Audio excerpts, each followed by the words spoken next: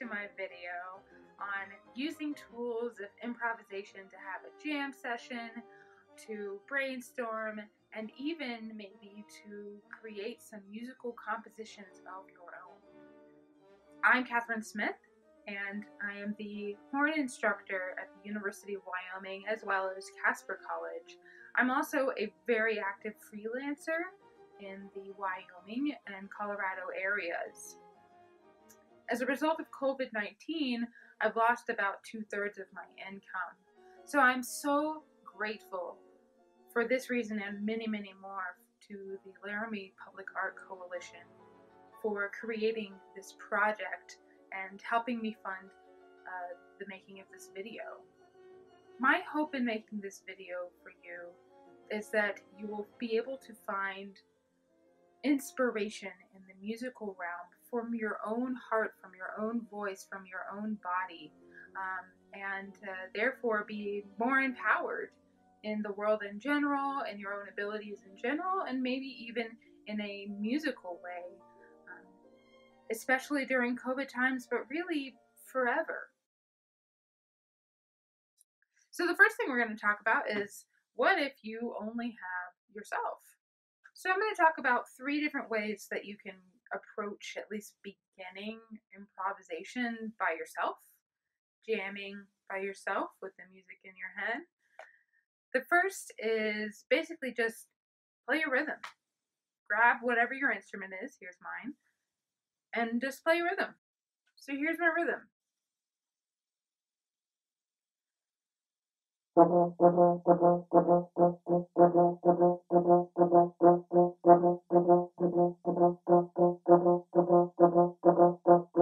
So you can see myself trying to get into it, right?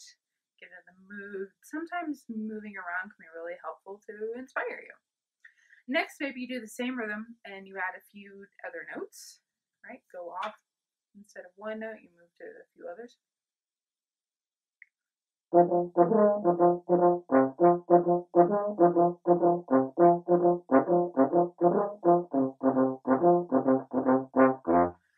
That kind of groove gets going and it sets kind of a like almost a train track for you to get on. And then maybe once you get going, you feel inspired to move on and change the rhythm. So mm, it might look something like this.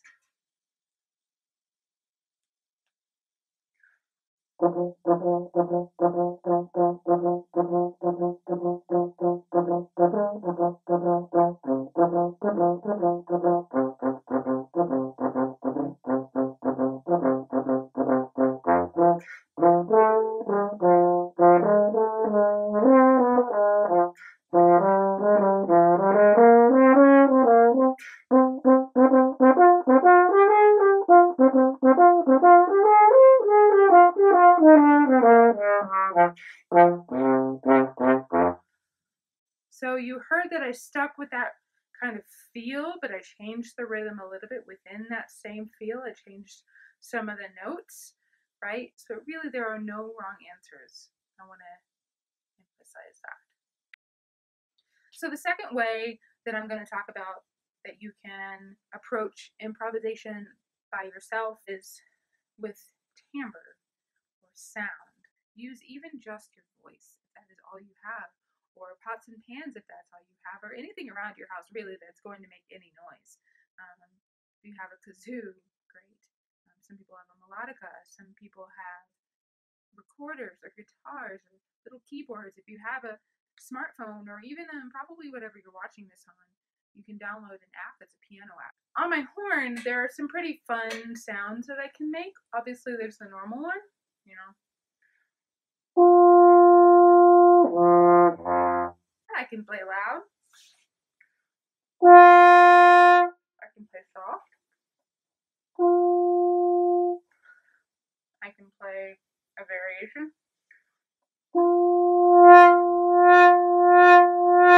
I can use the hand in the bell.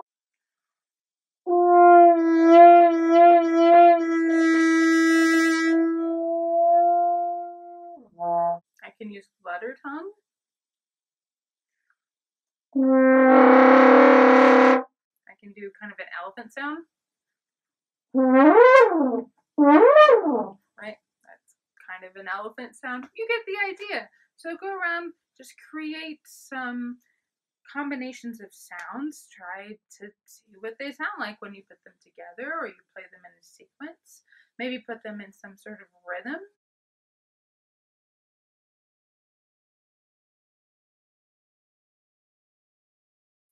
The last improvisational technique I'm going to talk about for soloing uh, or just improvising by yourself is taking a melody that you already know and love, beginning with that, and then see where it takes you. So, how about this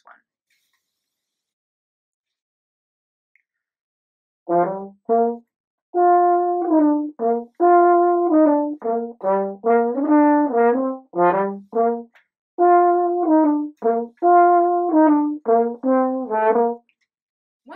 figured out the tune that you're wanting to start with, then you can go to your instrument, play the tune, and just see what comes. Maybe all you do is make some little extra blips in between it that um, add a little bit more pizzazz or make it more extra, as the kids are saying these days.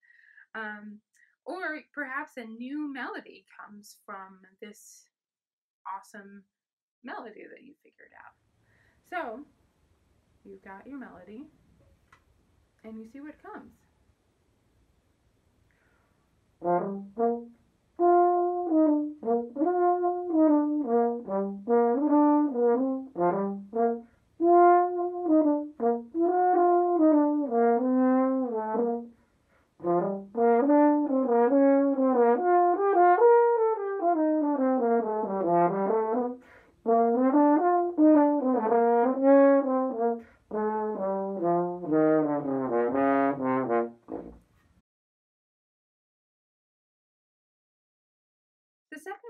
improvisation or jam session I'm going to teach you about today is with two players. These are some suggestions for how you might go about that.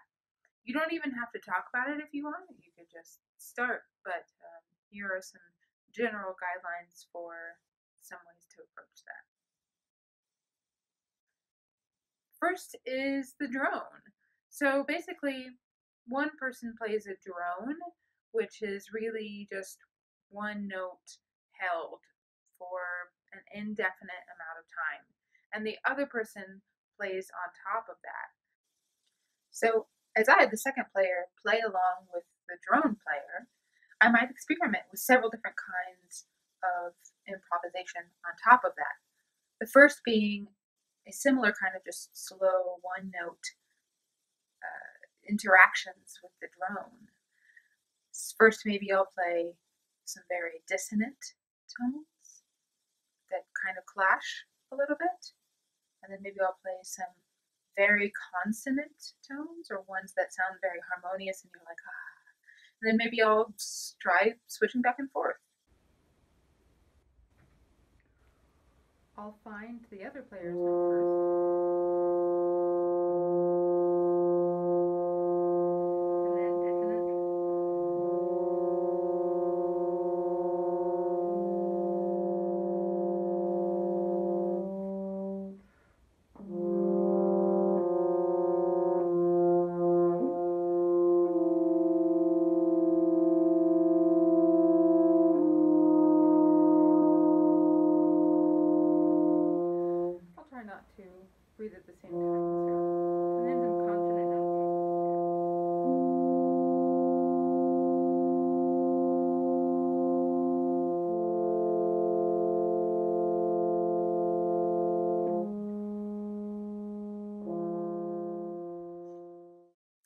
That's the first thing that I might do with, with the drone.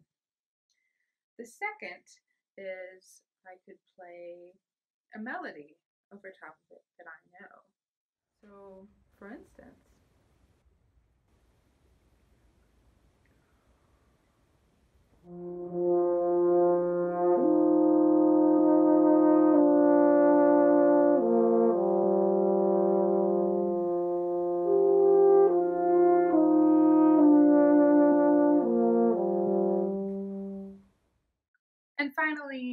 perhaps I will just do a little improv on top of um, the drone. Maybe interacting some, maybe just making some stuff up. Do whatever you want. That that drone is kind of a um, grounding place for you as a player to be like, okay,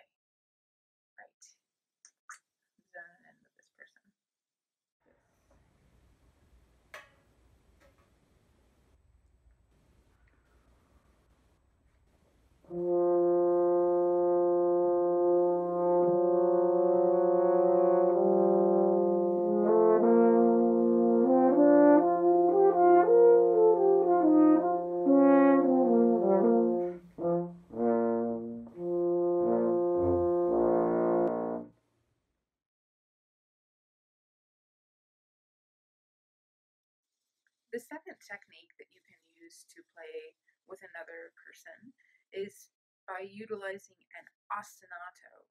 An ostinato is a figure or pattern in music that is repeated over and over and over again. You probably want to try and make it very rhythmic, like in the very first example I used with playing by yourself. And it allows the second person to kind of get a groove that you set for them, and then they play on top of that and on top. The groove a little bit.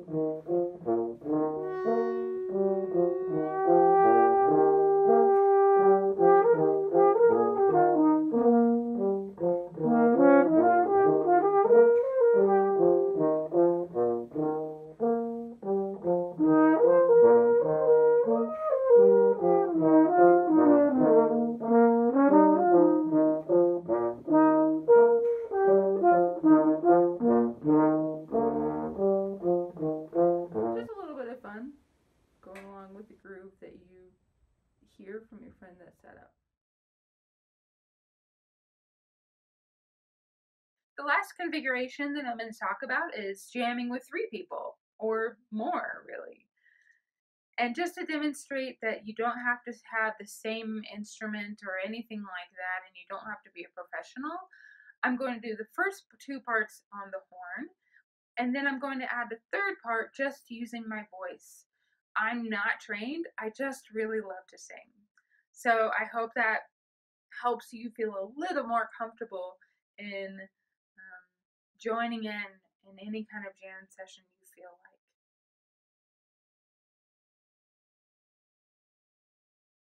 So the second part in this three-part jam session could be another drone on top of that drone. Um, and that could possibly sound like this.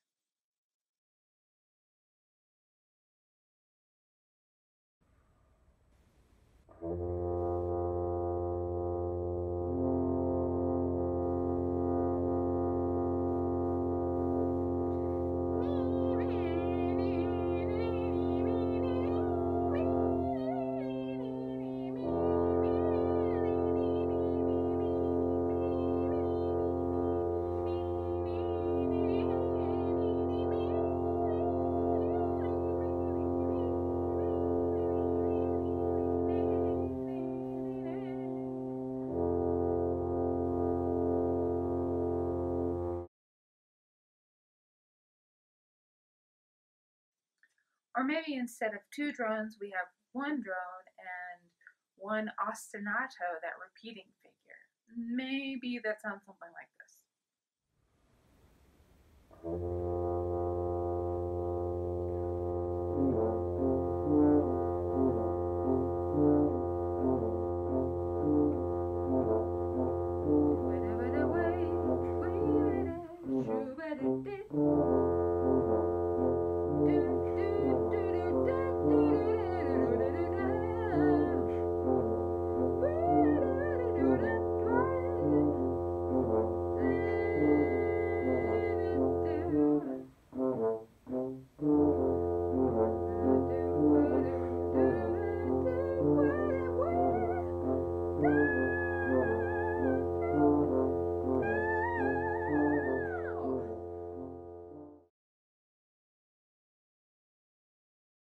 So when you're the second person playing an ostinato along with someone else already playing an ostinato, what you would like to do is interact with them. Again, I cannot stress enough that there are no wrong answers. There is just inspiration and trying to put it through whatever vessel you're using.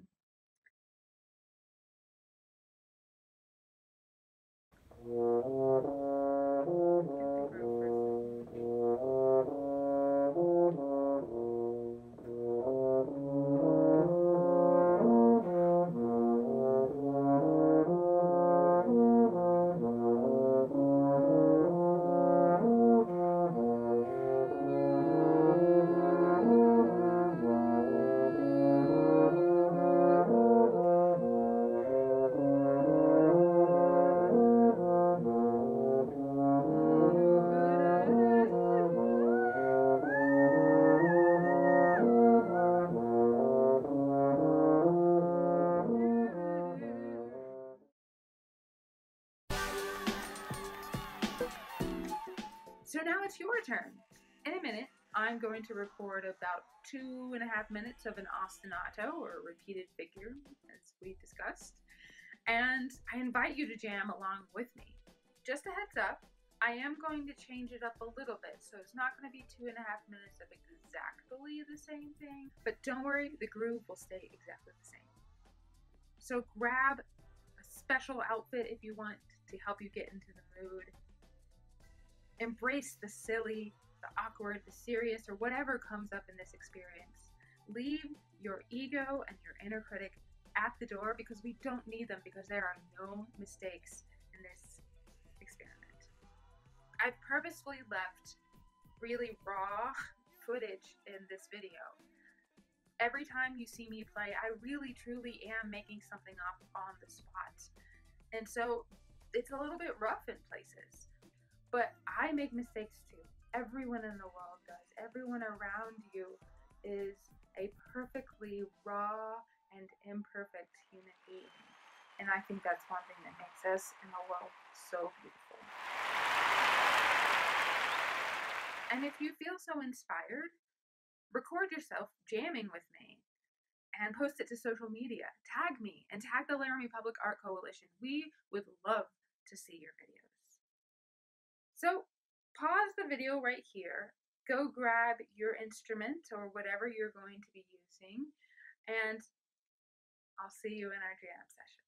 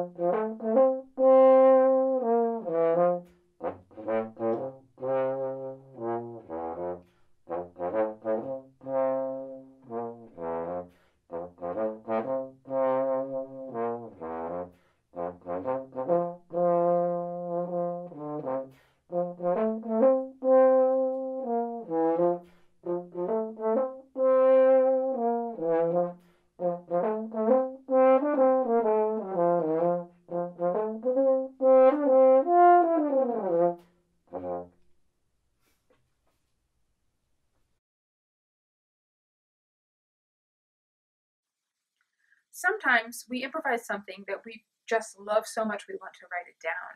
Maybe someone else's playing has inspired you to write something else of your own as well. That is when we get into the realm of musical composition that we write down for others to be able to enjoy and play as well. My great friend and a robust member of the Laramie music community, as well as my lovely colleague here at the University of Wyoming Music Department, has graciously agreed to very quickly compose a piece of music for me. It was written just for you and just for this occasion, and it's aptly named Wash Your Hands. The piece alternates between two contrasting sections, the first being a little more frantic and humorous and quirky, if you will, and the second being much more lyrical and contemplative and slow and soft. As you can see, I have changed. I have practiced as much as I have been able to since receiving the piece, and I am ready to perform this for you. So, thank you again, Annie, for providing this wonderful piece for us to enjoy today. I hope you enjoy. Wash Your Hands by Anne Guzzo.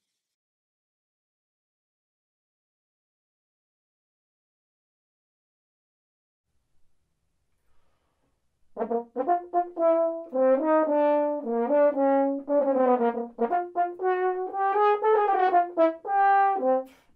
you.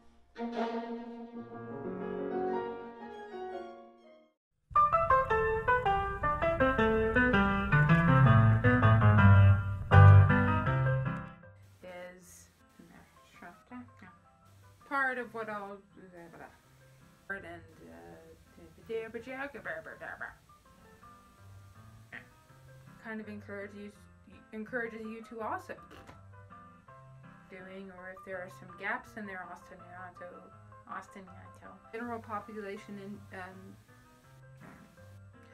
the population in general seems to feel that way um, as far as lay people who are not professional professional.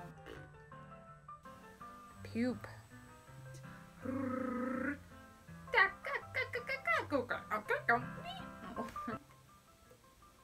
nah go oh my god it was so good. I don't remember what i said. Something about mistakes being okay uh, that needs to be a little shorter. Of course. Member of the laramie music committee and this oh God. leave your in the first video the first the first jam session God.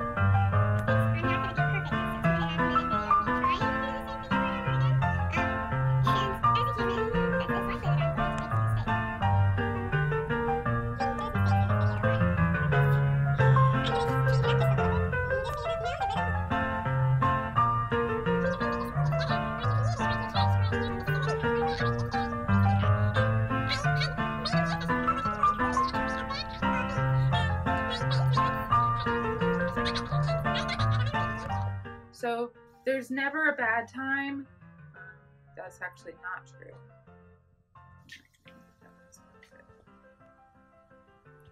Okay, good. That's good enough. Alright. That's enough for now.